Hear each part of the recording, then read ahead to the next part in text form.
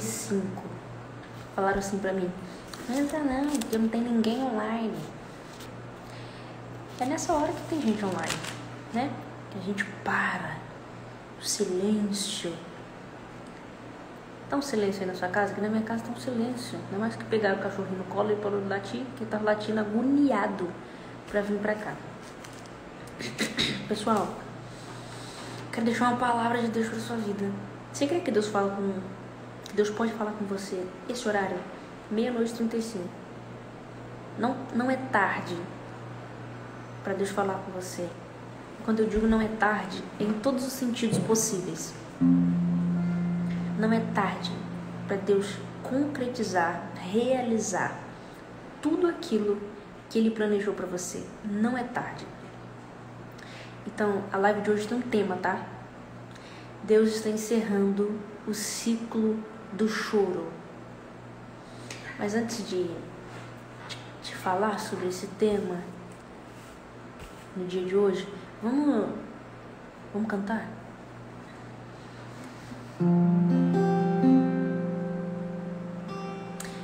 Deus,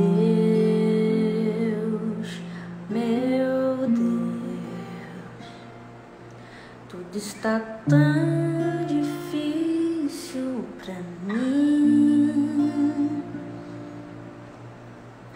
Deus,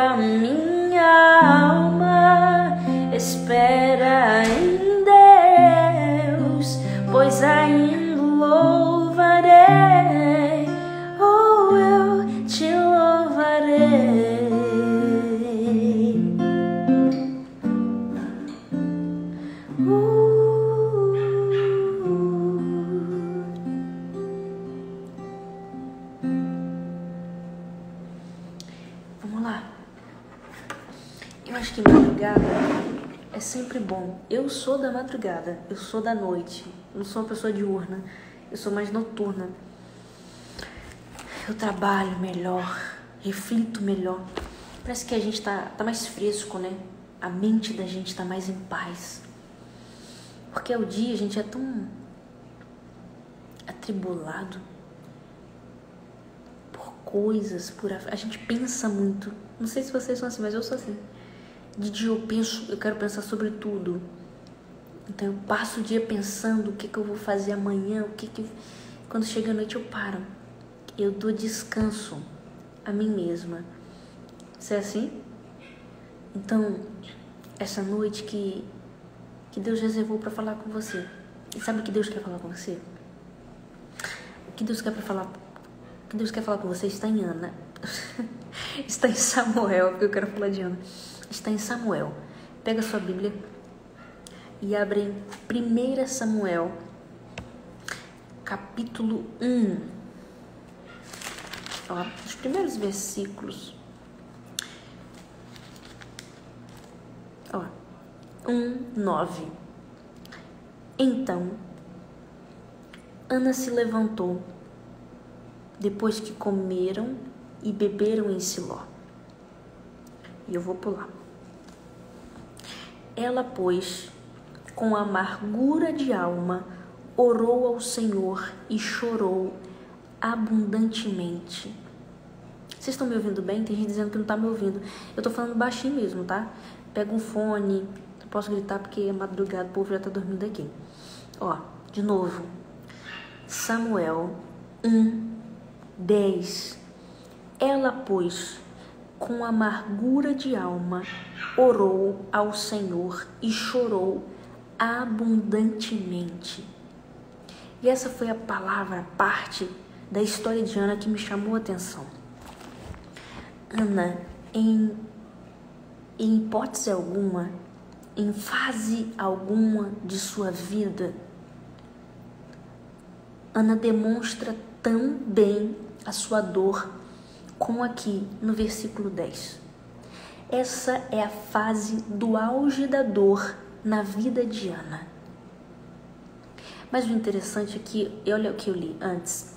Então Ana se levantou, mesmo doendo, meu Deus, mesmo sangrando, mesmo sendo humilhada, mesmo com a, a Bíblia fala com amargura de alma, mesmo com a alma amargurada, a Bíblia faz questão de dizer então Ana se levantou. Sabe o que eu tenho para dizer? Sabe o que está faltando para você gerar o seu Samuel? Você entender que a sua fase pode ser de dor. É você entender que o seu coração, a sua alma pode estar sangrando, que o seu semblante pode estar abatido. Você pode olhar para mim e dizer, Kimberly, está doendo muito. Hoje o céu está te dizendo: então levante. Olha o que a Bíblia vai dizer no capítulo 9 da história de Ana. Então Ana se levantou. Então, vírgula, Ana se levantou, vírgula. Sabe o que está faltando para você gerar? Se levantar. Você vai entender, sabe? Essa história Todo mundo prega sobre ela, em algum momento a gente já ouviu falar sobre essa mulher, porque não tem como falar de Samuel sem falar de Ana. A história de Ana vem antes da história de Samuel. Samuel só é quem é por conta de Ana. Sabe o que eu profetizo na sua vida? Existem pessoas na sua casa que você vai gerar. Você está pronto para gerar? Gerar gente que vai ser maior que você. Gerar gente que vai estar em um outro patamar do que você gerar gente que vai gerar gente para Deus. Olha só que interessante. Deus escolheu quem? Escolheu a estéreo, escolheu Ana para gerar. Os capítulos anteriores, a história de Ana começa falando sobre Eucana, Eucana e suas mulheres. O subtítulo não é Iana, mas a história vai se desenvolver, vai contar a história de Ana. Conta que um homem, ó, e um homem de Ramataim, Zofim, das montanhas de Efraim, cujo nome era Eucana, filho de Jeroão, filho de Eliú, filho de Tou, filho de Zufe, Zufe, Efrateu. E este tinha duas mulheres, e o nome de uma era Ana e o nome da outra Penina. Você vai conhecer a história de Ana. Você sabe que Ana ela foi insistentemente irritada por Penina Penina abre um nível de competição que Ana não tinha aberto. Penina quer competir com quem não queria competir. Penina quer brigar com quem não queria brigar. Que Penina queria guerra com quem queria paz. Então, e Ana permite. Ana, Ana não desabafa com ninguém. Ana não conta para Eucana. Tanto que quando Eucana vai perguntar o que está acontecendo, não sou eu melhor do que dez filhos? Ele não sabia, estava perdido na história. Por quê? Ana prefere guardar. E triste é ser a pessoa que guarda. E sabe por que Deus está despertando você para entrar nessa live nessa madrugada? Porque você é como Ana, você guarda. Você está com tanto entulho dentro de si que o seu semblante está batido, mas você nem percebe. As pessoas que estão em volta não sabem o que está passando dentro de você. Você é um turbilhão de sentimentos, de coisas que aconteceram, mas que você não conta, mas que você não desabafa. Aí as pessoas olham para você e julgam: nossa, ela deixou de vir para a igreja no domingo passado porque a porta está fechada. Aí tem gente que olha para você e diz: ela tá desse jeito porque o marido tá querendo, porque descobriu que o marido. Não, ela tá desse jeito porque o laudo médico, ela tá por causa dos filhos. As pessoas julgam. Porque Eucana estava no papel de julgar o que estava acontecendo, porque Ana não sabia contar. Ana não falava sobre o assunto. Triste por quê? Ao mesmo tempo eu entendo Ana, era difícil falar. Era difícil chegar para Eucana e dizer, porque a mulher que você também escolheu para viver me atormenta existem coisas que é difícil falar. Aí o que, que, o que, que o Cana faz? O, o Cana julga. O Cana vai chutando e vai dizer: é por causa dos filhos? Eu sou melhor que dez filhos. Mas não. Por causa de Penina, Ana vive um profundo amargurecer da sua alma. Ana vive a pior fase da sua história no capítulo 10. E sabe, se a sua vida fosse escrita em livros, em capítulos, talvez, oh Deus, a data do dia de hoje, esse horário que o céu está te chamando, seria o horário que poderia, poderiam dizer: esse, é, essa é a hora da dor. Essa é a hora que ela senta, que ela vê que ela está sozinha, que ela não pode contar mesmo para ninguém, porque ninguém tem estrutura para ouvir. Talvez esse é o. Porque na história de ano, capítulo 10 é o auge da dor. Talvez hoje, essa madrugada, é o auge da sua dor. Talvez foi nessa madrugada que você falou: Deus, eu não consigo levantar sozinha. Vai amanhecer daqui a pouco, tá todo mundo dormindo, porque é assim. No final das contas, todo mundo dorme, todo mundo esquece. Oh, Deus. Deus está falando com gente aqui. No final das contas, ninguém liga.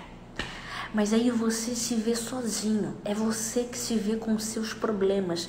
É você que se vê com a sua dor. A Bíblia fala que todo mundo termina de almoçar. E o que, que vai fazer? Uns vão dormir depois que almoçam. Mas Ana não consegue. Ana passou. Que madrugada foi essa? Que noite foi essa na história de Ana? Para ela depois de um almoço desse olhar para si e dizer eu não consigo não, eu tenho que ir para a igreja. Eu não consigo não, eu tenho que abrir o meu coração para alguém. Sabe o que o céu está te dizendo? Essa live é a oportunidade que Deus está te dando de abrir o seu coração, porque você vai explodir qualquer hora dessa. E triste coisa é quando as pessoas explodem, esperam, esperam chegar ao auge da dor, esperam chegar ao auge dos seus, porque aí você fala coisas que você não precisava falar. Aí você magoa gente que você não precisava magoar. E tá alguém me ligando uma hora dessa? Misericórdia, o que, que é isso, Jesus? Fica aí.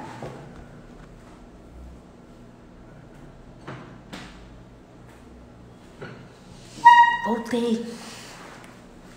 Entende? O problema de guardar aquilo que a gente precisa expor Ana poderia expor para Eucana o que estava acontecendo, porque Eucana poderia resolver a situação. Sabe o que o céu está te dizendo? Conta a situação para quem resolve. Conta enquanto dá tempo. Quem é Ana? Ana é alguém que tem planos. Ana planeja casar. Ana planeja ter filhos. Ana planeja ser bem-sucedida em todas as suas áreas, mas não sendo só uma exclusividade de Ana, isso estende até nós. Quantos, nós. quantos de nós temos planos? Quantos de nós temos metas? Metas essas que talvez não batemos ainda. E talvez eu estou falando para pessoas que estão vivendo um nível de competição com gente que nunca imaginou que competiria. Talvez eu estou falando com gente que está tendo uma penina em sua vida. E talvez penina não é nenhuma pessoa. Talvez penina são seus gigantes existenciais. Talvez a penina da sua vida é quem você vê em outro patamar, porque Penina já estava em outro patamar de vida. Penina já tinha filhos. Penina já era realizada. Mas ela não se resolve sozinha. Penina quer competir com alguém. Aí sabe o que o céu está te dizendo? Não se permita. Por quê? Penina, ela queria guerra com quem estava em paz. Ana poderia ter permanecido em paz esse processo na vida de Ana, Ana tinha sido escolhida, porque o próprio Deus vai dizer: e cerrou Deus a madre de Ana. Deus escolheu Ana para gerar Samuel. Deus escolheu Ana para viver o extraordinário. Deus já tinha escolhido. A história de Ana já tinha um destino. Ana já iria chegar onde Deus tinha planejado. Mas esse processo, por que doeu tanto? Tá me entendendo? Tem coisas que Deus já planejou para você viver, mas por que tem doído tanto? Aí o que, que o céu tá, tá nessa madrugada te fazendo enxergar? Tá doendo demais. Mas sabe por quê? Porque você não quer sentar para conversar com ninguém. Tá doendo demais. E tá doendo por quê? Tá doendo porque você não teve ainda um gabinete com seu pastor. Tá doendo, tá doendo demais. Por quê? Porque ainda você, você não chamou seu filho, não chamou seu marido, não chamou sua mãe, não chamou alguém. Aí o céu tá te dizendo: faça alguma coisa enquanto a sua alma não se amargurou. Penina amargura a sua alma, azeda a sua alma com o tempo, com o processo. Não permita viver uma vida amargurada, entristecida, entristecido. Não permita que a sua vida seja frustrada, você seja alguém frustrado por coisas que não aconteceram, porque só não aconteceram ainda. Ó, voltando. E então Ana se levantou. Porque Penina descansa. Penina estava bem. Eucana descansa. Eucana não estava sabendo de nada. Come e descansa. Mas Penina come, comia mal, porque o seu marido vai até reclamar. Não, a menina não come, essa menina não bebe, essa menina não. Ele sabia que estava acontecendo alguma coisa, mas não, não pergunta, não, não entra em diálogo, só acha que resolveu o assunto e passou por cima. Porque o cana é esse tipo de gente que passa por cima. E quem é você? Aí o José está te dizendo: talvez você tenha o Eucana também na sua vida, não só uma penina gente que passa por cima, gente que colocam coisas debaixo do tapete, enquanto tem que varrer a casa. Esse seria o cana. Aí hoje o céu está te dizendo, não trabalhe com esse tipo de gente. Aí você pode me dizer, Kimberly, mas Penino não conta nada porque ela sabia que Eucana não poderia fazer. Eucana não poderia resolver. Concordo. Aí o que ela vai fazer? Ela se levanta para falar com quem podia ela se levanta para desabafar com quem poderia fazer alguma coisa. O que ela entendia? Eu só não posso ficar com essa dor. Eu só não posso ficar com esse mau sentimento. Eu só não posso ficar sofrendo sozinha. Oh, Deus. Aí o céu vai te dizer: você só não pode ficar sofrendo sozinho. Você tem que se levantar para fazer alguma coisa, para conversar com quem resolve. E Ana estava tão desesperada por Jesus. Oh, meu Deus. Ana estava tão desesperada para desabafar que ela entra no templo. Eli estava sentado numa cadeira junto ao pilar do templo, vai dizer no capítulo 9. E o que ela faz? Ela, pois com amargura de alma, orou ao Senhor. Ela não para no caminho. Tá entendendo? Ela tinha um objetivo, falar com quem resolvia. Falar com quem entender. Sabe o que o céu está te dizendo? Você já chegou a um nível de acumular coisas dentro de você que não dá mais. Agora não dá mais para fazer gabinete com o pastor. Agora não dá mais para buscar um profeta. Agora não dá, agora não dá mais para ligar para aquela irmã que ora e revela. Porque você não precisa estar em busca de quem, de quem vai conversar com você. Agora você tem que buscar alguém que vai solucionar. Não dá mais tempo de conversar. Ela se levanta, aí ela se levanta sabendo, eu preciso falar com Deus. O profeta não parou. Olha que coisa linda. O sacerdote não, não resolvia. Ela queria Deus. Sabe o que o céu está te dizendo? Ana vai disposta. Sabe o que falta em você? Disposição. Disposição para entender que você pode ir milhares de vezes ao culto. Se você não estiver dentro de si. Voltou, voltou. Voltou? Tá travando? Ó. Tá indo? Foi, voltou. Você, você tem que estar disposto. Ana estava disposta. Vamos lá. Que já tá dando hora da manhã. E votou um voto dizendo: Senhor dos exércitos. Aqui, e é, o Esdras, não sei se ele ainda tá na live, eu vou pegar um, uma pontinha na outra mensagem dele. Quem Ana chama? Olha, ela não vai chamar Miguel, ela não vai chamar Gabriel. Ana tá num nível de precisão, alguém que precisava de socorro, e era um socorro forte. Tem alguém do Rio de Janeiro aqui? Sabem que quando, quando a polícia invade, não adianta chamar a polícia militar. Não adianta chamar a Polícia Federal, não adianta chamar o BOP, tem que chamar quem? Tem que chamar o Exército. Sabe o que o céu está te dizendo? O Senhor dos Exércitos. É por Ele que você tem que clamar. Ele, ela quer o general, ela quer o Senhor, ela quer comitiva, ela quer cobertura. Ana vai sabendo com quem ela queria falar. A gente chama o Senhor dos Exércitos quando a gente vê que a situação chegou no limite. Não é assim que o pessoal do Rio de Janeiro faz. Aí o exército vem. Oh, glória a Deus. Olha o que ela vai começar. Olha que oração terrível. E sabe por que eu amo a história de Ana? Porque tá faltando na gente a disposição que teve em Ana. Tá faltando na gente a vontade que Ana estava de receber vitória. Ela estava querendo tanto que ela não disse Senhor. Ela queria tanto aquele menino, ela queria tanto gerar, que ela não olha e fala Jesus. Ela queria, ela estava decidida. Ela não procura nem o Deus do milagre, Deus do milagre, não, Senhor dos senhores. Mas ela poderia, não, o que ela diz? Senhor dos exércitos. Ah, querido.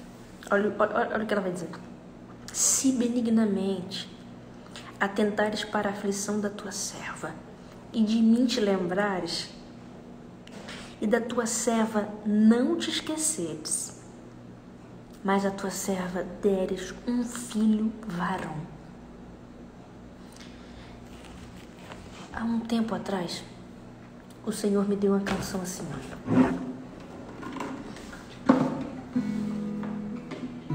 Canta mais baixo. Deus vai honrar a tua fé. Verdade é que a madrugada foi difícil, mas amanheceu e olha você aqui de pé, provando pra si mesmo que é valente. Você sabe o que quer. E quando o céu me disse isso, Camille, você sabe o que quer. Quem sabe o que quer não para, querido. Quer vitória, pois é guerreiro e vai vencer as lutas que vier. Porque o teu Deus vai honrar a tua fé.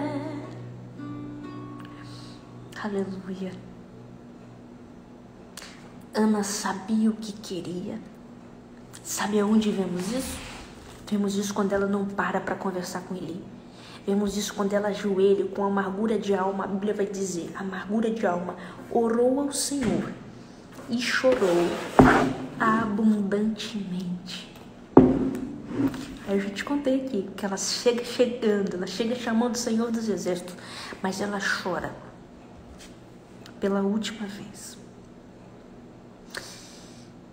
E quando ela vai orar, ela vai dizer: Se tu deres a sua serva um filho varão, ela sabia o que queria, ela sabia o que precisava. E mais à frente, ó, sabia o que queria. E mais à frente nós vamos saber e entender. Ana sabia o que queria e sabia o que precisava ser feito. Sobre sua cabeça não passará navalha. Ela sabe. E sucedeu que, perseverando em orar perante o Senhor, ele vem. Porque é assim. Primeiro a gente fala com Deus do profeta. Depois o Deus do profeta fala com o profeta e o profeta vem até nós. Entendeu? Você não precisa sair da sua casa. Você não precisa ficar desesperado dizendo qual o telefone de fulano. Você conhece o Deus do profeta. Eu quero voltar. Porque o ponto-chave é aqui. Ana vai dar o menino para Deus. Não, Senhor, espera só um minuto e vai em paz.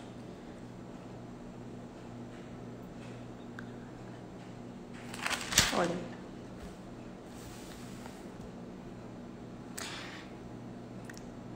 O darei por todos os dias da sua vida. Antes de falar sobre a navalha, ela diz que ela vai entregar o menino ao Senhor. Ela sabia o que queria, queria um menino. E sabia o que tinha que ser feito, entregar o menino para Deus. Por isso que ela gera. Depois que ela entende o que ela precisava orar, o que ela precisava fazer, tanto para receber o milagre quanto pós recebimento do milagre. Sabe por quê? Existem coisas que Deus ainda não te entregou. Você já pediu socorro, você já chamou o Senhor dos Exércitos e porque ele ainda não veio? Porque Deus te abandonou? Não. Porque você ainda não sabe o que você quer. Porque você ainda não sabe o que você tem que entregar. O nível do milagre é o nível da entrega entregar um filho que ainda nem tinha sido gerado. A mulher é estéreo, gente. É a mesma coisa que você tá desempregado, sei lá quanto tempo faz. Aí você diz assim: Deus, se o Senhor abrir a porta para mim, o primeiro salário eu vou entregar como dízimo, é o meu dízimo, é 100%. É isso que Ana faz. Ana entrega 100%. Por quê? Ela queria 100%. Ela disse: Senhor me dá um menino, eu dou o um menino pro Senhor. Eu só quero ter, só abra a madre. Porque depois de uma vez a madre aberta, querido, tem um ditado, um jargão que diz: a porta que Deus abre, ninguém fecha. E é uma realidade. Ana pega isso. Ela pensa: Deus só precisa abrir. Sabe o que está faltando em nós? Entender que Deus só precisa abrir. Entender que Deus só precisa abrir. Olha o que antes, e eu quero parar nisso aqui. Ela, pois, com amargura de alma, orou ao Senhor e chorou abundantemente. Você acha que foi a primeira vez que ela chorou no templo? Não. Você acha que foi a primeira vez que ela ajoelhou e orou? Não. Mas naquele dia, ela estava disposta a entregar Samuel. E naquele dia, Deus se dispôs a abrir a sua madre. Mas antes, ela chorou por uma última vez. Mas antes, ela orou sobre aquele assunto por uma última vez. Ah, essa madrugada é a madrugada em que Deus está abrindo a madre de mais de mil e cem pessoas. Uma live que nem tinha sido planejada. E sabe o que o céu está querendo te dizer? Ana, você vai gerar o seu Samuel. Mas antes, para abrir a sua madre, precisa se ter um nível de entrega. Eu sinceramente não sei o que você vai ter que entregar. Porque todas as vezes que Deus quiser você para um projeto, Deus queria Ana para aquele projeto de gerar Samuel. Mas ela só ia gerar depois que entendesse que ela tinha que entregar 100%, entregar o menino. O tamanho do projeto. Samuel era Samuel foi o último e um dos principais, um dos maiores sacerdotes. O projeto era muito grande, então o nível de entrega tinha que ser muito grande também. Entende? Sabe por que Deus não te deu coisas até hoje? Por causa do seu nível de entrega projeto é grande demais e você quer entregar muito pouco. Mas o que eu profetizo? Você tem fé para receber? Deus arrancou a dor do coração de Ana naquele dia, naquela tarde. Você tem nas suas mãos a capacidade de fazer a oração que vai mudar a sua vida. Ana tinha nas mãos o poder de entregar 100%, de entregar o seu Samuel. Existem milagres que, claro, dependem 100% de Deus. Todo milagre depende 100% de Deus. Mas e aquilo que depende de nós? O que dependia de Ana era entregar o menino. O que, o que, o que que estava na capacidade, o que estava eh, que, que era da parte de Ana, o que era da parte de Deus era abrir a madre, o que era para Ana entregar o menino, entregar o projeto. Aquele dia foi o último dia que Ana orou pelo menino.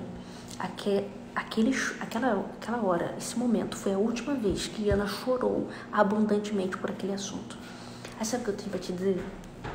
Quem sabe daqui a alguns minutos você vai fazer a oração que vai mudar a sua vida. Quem sabe? Quem sabe você está vivendo a última noite de choro abundante. O que você precisa fazer, você já sabe, entregar 100%. Não é 50, não é 10. Ela não diz: "Deus, deixa o menino comigo". Eu te dou os finais de semana. Ela diz: é teu. Todos os dias da vida dele. O menino não vai voltar mais para casa. É do Senhor. Ela não quer voltar atrás. Ela chegou num nível, numa fase que ela quer entregar tudo. Aí o céu está te dizendo: é a última vez que você vai chorar por esse assunto. É a última vez que a sua petição vai ser para que Deus abra a madre. É a última vez é a última madrugada, é a última lágrima. Você está preparado para chorar a sua última lágrima? Você está preparado para entregar 100%? Meu Deus. Deus usa o profeta depois que Ana entrega 100%. E ela sai. Olha, olha bem, olha bem. Olha o nível de entrega dessa mulher. Então ele disse: Vá em paz, e o Deus de Israel te concederá a sua petição que lhe pedistes. E disse Ana: Enche a tua serva de graça em teus olhos. Assim a mulher se foi seu caminho, comeu, e o seu semblante já não era triste. Eu profetizo que você vai acordar diferente. Depois da entrega, depois do culto, porque Samuel era o culto de Ana para Deus. Sabe o que Ana faz? Ana vai viver. Ana vai sorrir. Sabe o que está faltando em você? Voltar a viver. Sabe o que está faltando para você? Voltar a sorrir. Eu profetizo. Aleluia. Tem gente na sua casa que está dormindo, mas você, Deus, deixou acordado. Ah, Ana, porque é a última noite que você chora. É a última noite que você não come, que você não bebe. Ou, porque tem gente que é reverso, né? Tem gente que na ansiedade come demais. Aí o que o céu está dizendo? Deus vai te controlar. Porque depois que ela recebe a vitória, sabe o que ela faz? Ela se controla. Ela não fica mais sem comer. Ela se equilibra. O equilíbrio espiritual de Ana volta.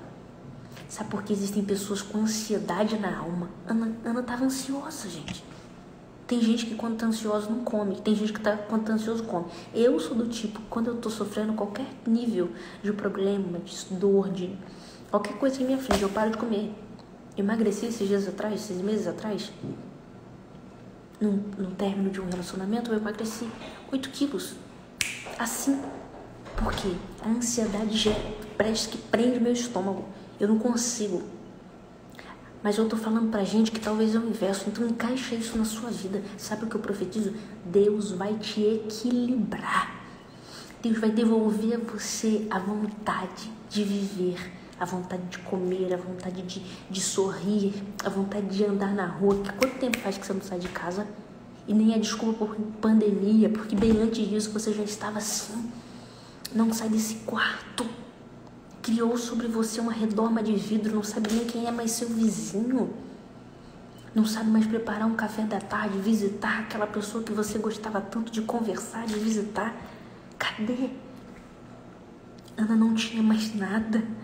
Ana não tinha mais equilíbrio. Aí o céu tá te dizendo, do mesmo jeito que você entregou 100% daquilo que você nem tinha, eu vou restaurar 100% daquilo que você era. Oh, aleluia. O céu está te dizendo você vai voltar a ser e não é 50% daquilo que você era. Você vai voltar a ter e não é 50% daquilo que você tinha. Você vai voltar a sorrir e vai voltar 100%. Você está pronto para viver o seu 100%? Oh, glória a Deus. O céu pode fazer barulho, meu filho. Não tem problema não. O céu tá te trazendo para essa laje. Oh, glória, isso é muito forte para Deus te dizer, tá preparado para viver o seu 100% e é pós essa madrugada. E é pós a oração que nós vamos fazer agora. Não, não, não vai passar de hoje. Você crê? Não passa dessa madrugada. Você tem coragem de fazer uma loucura? Ana faz uma loucura. Ela entrega aquilo que nem tinha, dá 100% daquilo que nem tinha. Tem coragem? Diga para o Senhor: Senhor, é 100% eu te entrego 100%. Porque eu quero voltar a ser o meu 100%, eu quero voltar de volta ao meu equilíbrio, eu quero voltar de volta a ter a minha paz. Olha o que Ana faz depois de que o semblante dela volta, ela volta a sorrir. Olha, a Bíblia vai dizer: E levantaram-se de madrugada e adoraram perante, perante o Senhor, e voltaram e vieram às suas casas. E Eucana conheceu a Ana, sua mulher, e o Senhor se lembrou dela. Sabe o que eu profetizo? Pós essa live, Deus não vai se esquecer de ti, não. Porque quantas vezes você já entrou em um monte de live de um monte de gente, sentiu que era para você e nada aconteceu. Aí o céu tá te dizendo, do mesmo jeito que Deus continuou lembrando de Ana, lembrando da promessa, o céu vai continuar lembrando de você, de quem você é, do favor que o Senhor disse que iria fazer na sua vida nessa madrugada. Tá pronto para fazer a oração que vai mudar a sua vida? Está pronto para entregar aquilo que vai ser o seu 100% para Deus, para voltar a ser como você era. Então feche os teus olhos nesse momento e eu vou desativar os comentários porque eu quero você totalmente ligado nisso. Porque essa oração vai mudar a sua vida. Essa madrugada vai mudar a sua história. Eu quero ser o profeta Eli na sua vida. Eu sou pequeno, eu não tenho valor para o homem, talvez mas aquilo que, que eu tenho em Deus. O que eu quero pedir não é por mim, não é para as coisas que eu preciso, é por você. Vai ter alguém orando por você. Faz dias que você diz, Deus, ninguém se lembra de mim. Sabe quem Deus está usando? Não sou nada, mas Deus usando a Kimberly. Você vai dizer um dia, Deus usou a Kimberly para orar por mim.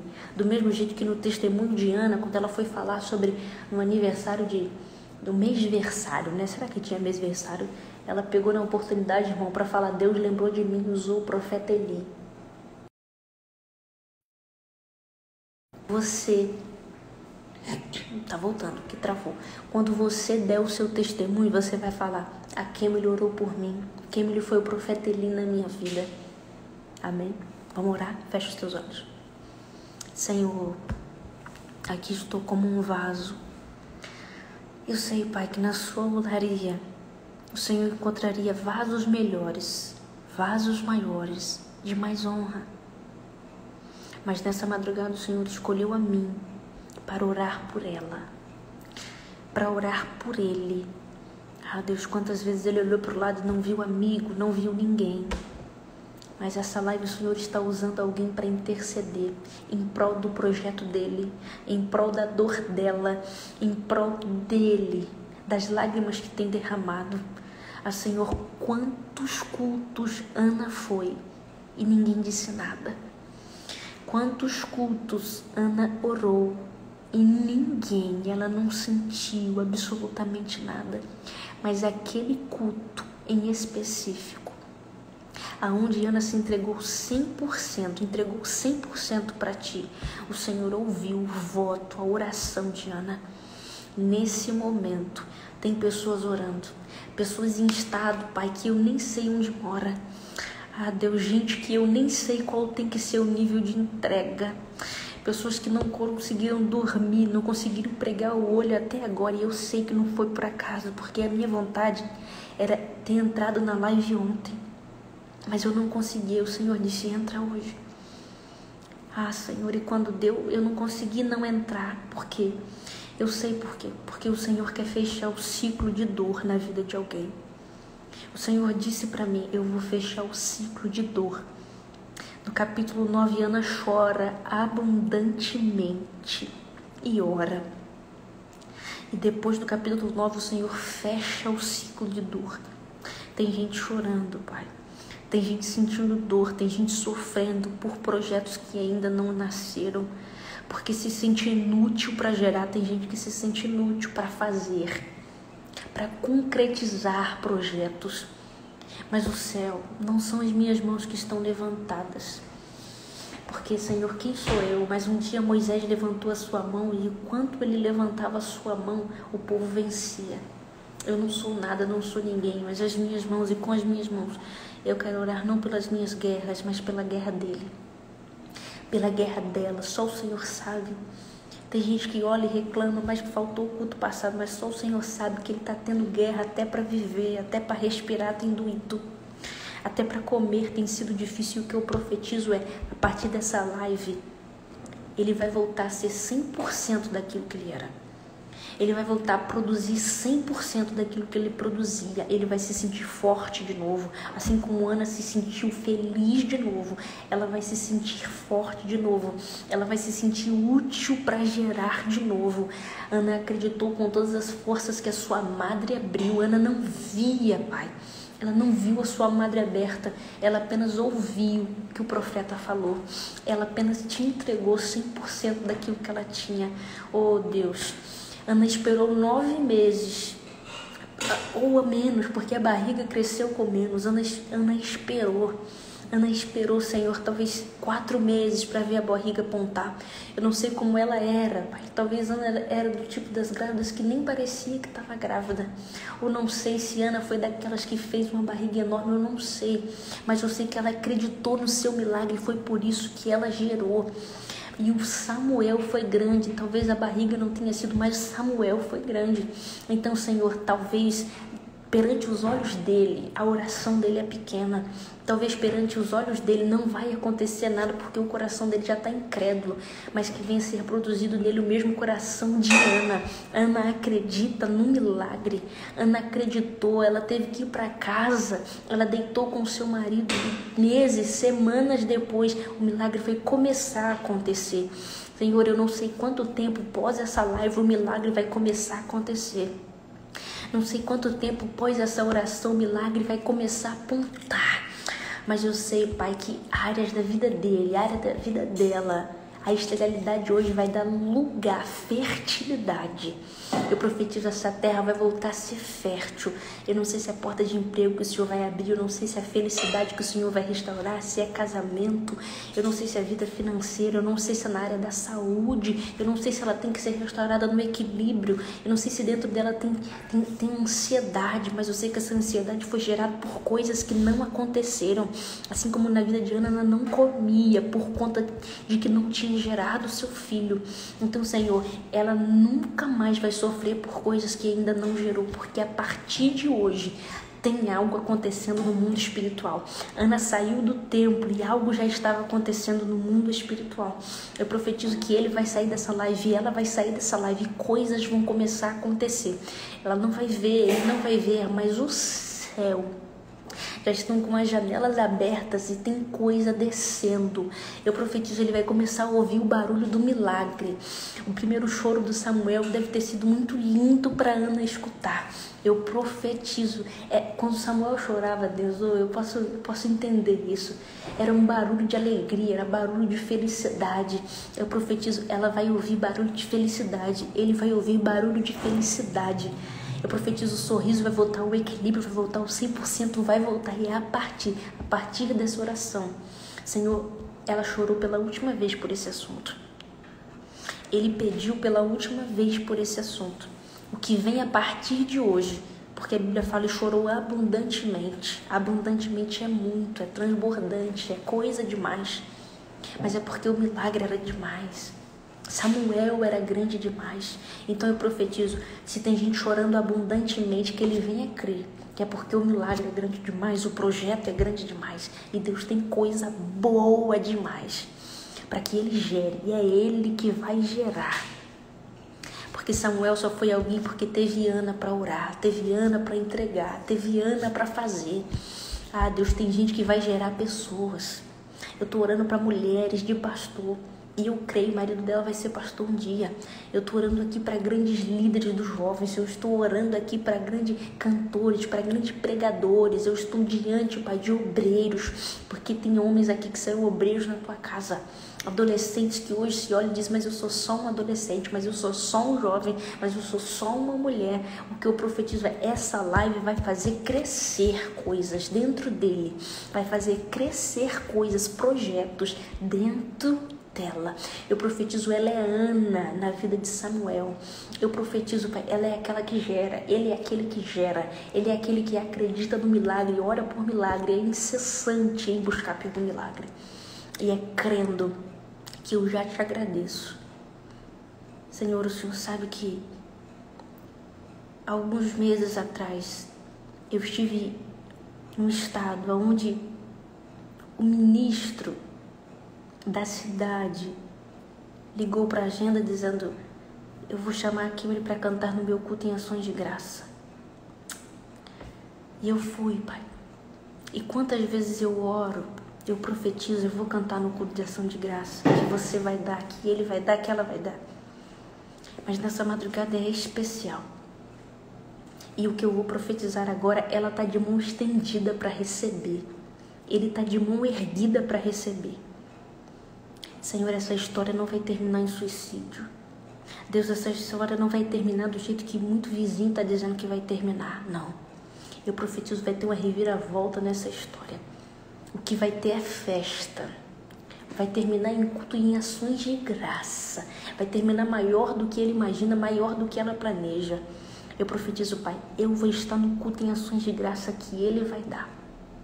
Eu vou estar no culto em ações de graça que ela vai dar. Eu acredito nisso e é por isso que eu já te agradeço. Eu te agradeço não porque eu creio que o Senhor vai fazer. Eu te agradeço porque eu sei que o Senhor já fez. Muito obrigada. Muito obrigada. Você acredita nisso, gente? A bateria já está quase acabando.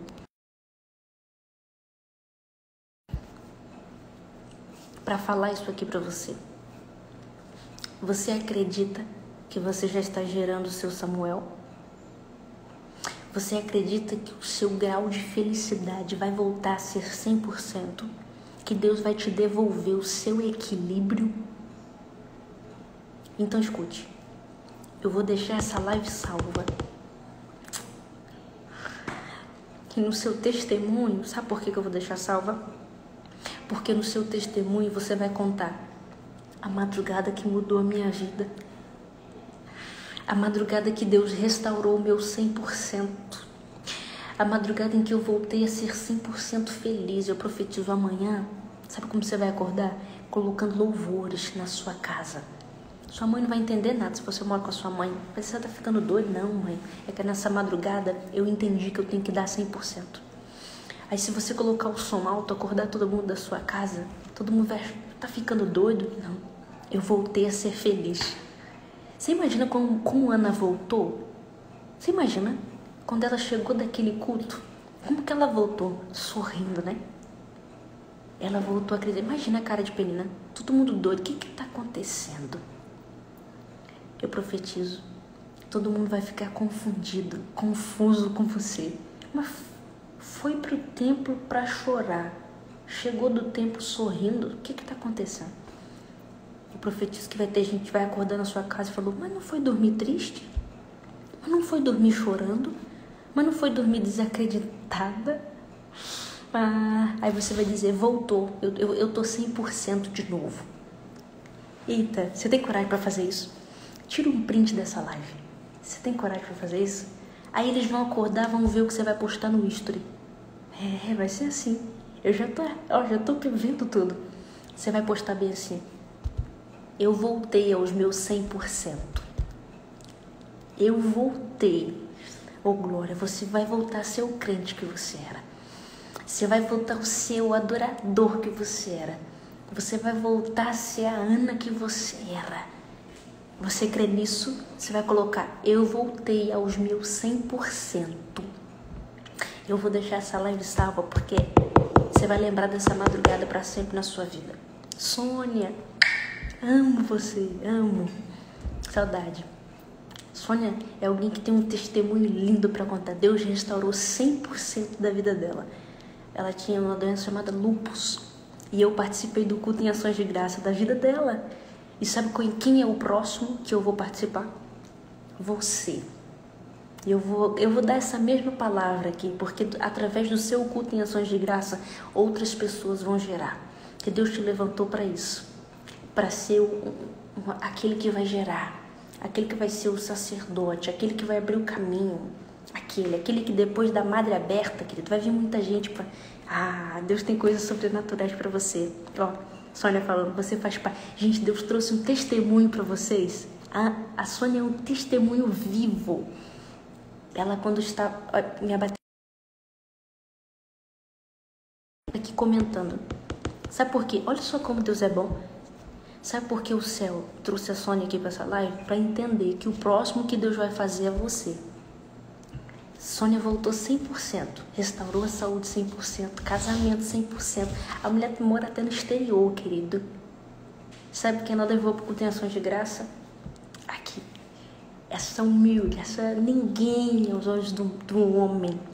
Mas quando Deus restaurou ela 100%, a primeira coisa que ela foi dar contenções de graça, eu participei. Que eu profetizo é: a mesma coisa vai acontecer com você. Eu profetizo que você vai mudar até de estado, você vai mudar até de país. A Sônia tá no Japão. Você vai mudar até de país. Você recebe. Quem, quem é doido para receber isso aqui, recebe. Eu profetizo que o que Deus vai fazer é tão grande, tão lindo, tão sobrenatural. Ah, que você vai olhar e vai dizer: realmente, Deus fez mais do que 100%. Deus me restaurou 100%. Amém? Ó, oh, Sônia dizendo: foi lindo, foi maravilhoso. Eu tenho saudade desses cultos que você promove. Todo ano eu tô junto. A Denise também, gente. Todo ano eu tô no culto em ações de graça, porque Deus restaurou a saúde da Denise. E Deus usou os meus louvores. Você imagina, todo culto eu tô lá. Deus está mandando essa noite. Oh, glória. Deus está. Você acredita que próximo, a próxima pessoa que eu vou participar do culto em ações de graça é você? Então pode, pode tirar print dessa live. A live vai terminar, você vai comentar. Eu não sei o que você pegou. Comenta o, que, o resumo do que eu disse. Porque eu disse muita coisa. Vai que Deus você pegou uma outra coisa, um negocinho. Você vai comentar o que você quiser. Você vai comentar, eu sou Ana, eu vou me entregar 100%. Ou você vai colocar, eu voltei 100%. Ou você vai dizer, tem coisa crescendo, tem coisa acontecendo. Ou você vai dizer, Deus restaurou a minha, a minha saúde, Deus restaurou, Deus abriu a minha madre. Eu não sei o que você vai comentar, mas comente, porque eu acredito que enquanto você digita, Satanás vai ficar confuso. O que, que aconteceu?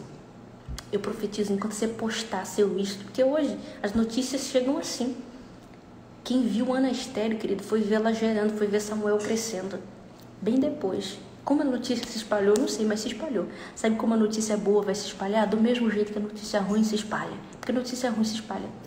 Vai a gente dizer, ah, tá doente, todo mundo vai ficar sabendo. Ah, divorciou, todo mundo vai saber assim, ó, em um minuto. Sabe o que eu profetizo? O que vão saber ao seu respeito é vitória, é bonança, é restauração, é coisa crescendo, ah, tem coisa acontecendo. Você recebe isso? Eu já vou, um e meia. Beijo. E não se esqueça, posta o seu istro e diga, eu voltei aos meus 100%. Eu vou deixar essa live salva. Você vai comentar o que você sentir no seu coração. Só quem participou dessa live vai entender. E eu vou estar lá comentando e curtindo tudo. Vamos lá, porque eu acredito que essa madrugada. Pode colocar um sorriso no seu rosto. Porque foi essa madrugada que Deus escolheu para fechar o ciclo de dor na sua história. Beijão.